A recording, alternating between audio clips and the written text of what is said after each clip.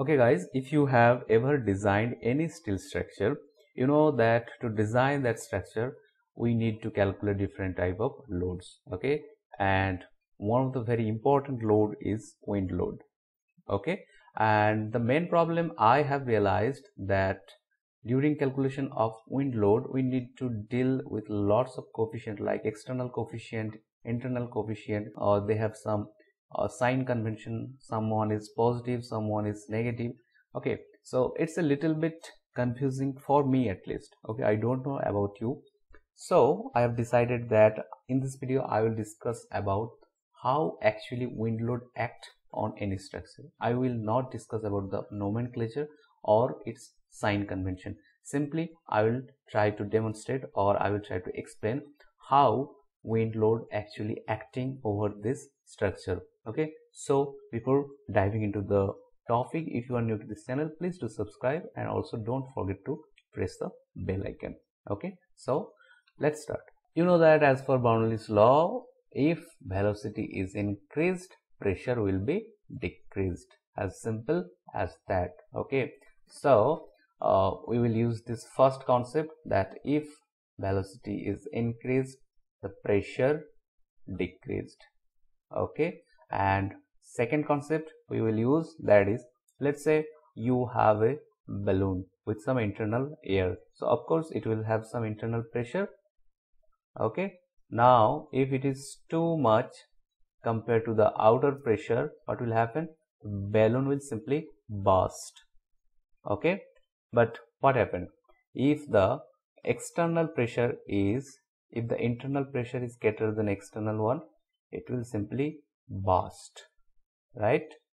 What about this one? If internal pressure is less compared to external one in that case the balloon will be sent okay right? So now let's see what happened during any wind load. So just consider this structure okay? So for this particular wall what will happen? Here wind is flowing from left to right. So simply let's say this is the wall. It is standing above the ground and wind is acting over it. So it's very simple. The pressure will act from left to right. There is no confusion. Okay. Now what about this face as the wind velocity in this surrounding is high due to the eddies formation what will happen in this particular zone the wind pressure will be reduced. The external wind pressure will be reduced as the velocity of surrounding air is high as per Bernoulli's law.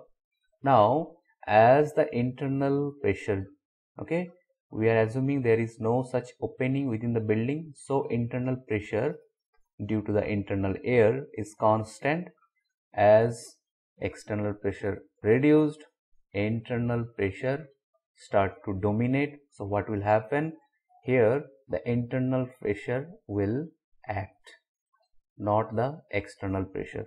So here also you can see in this wall the load actually acting from left to right but this is due to internal pressure but here the load is acting from left to right but this is due to external pressure. Got the idea? Okay. Now what about the ceiling okay. Now the problem is for this particular fish okay the air pressure here is drastically reduced the external pressure reduced.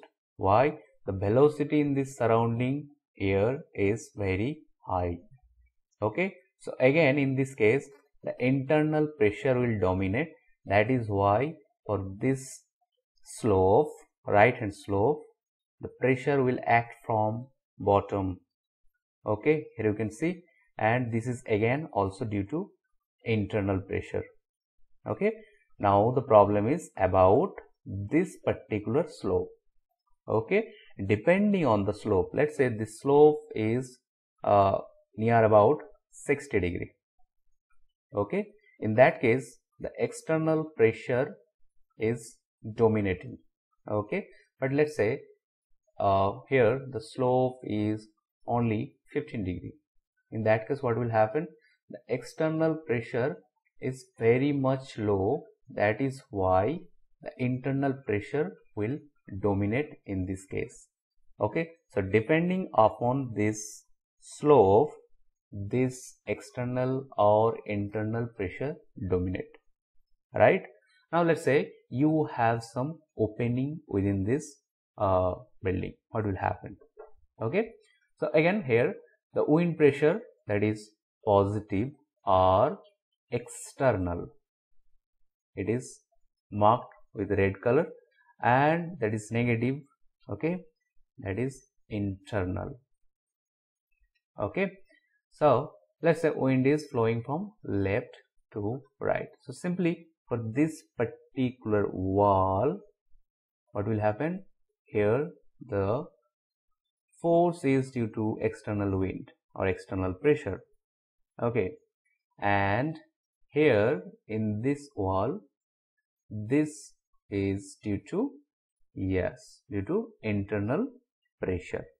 But as you have some opening here this wind will get entry into the house and it will also apply some external pressure from inside. Right? Okay.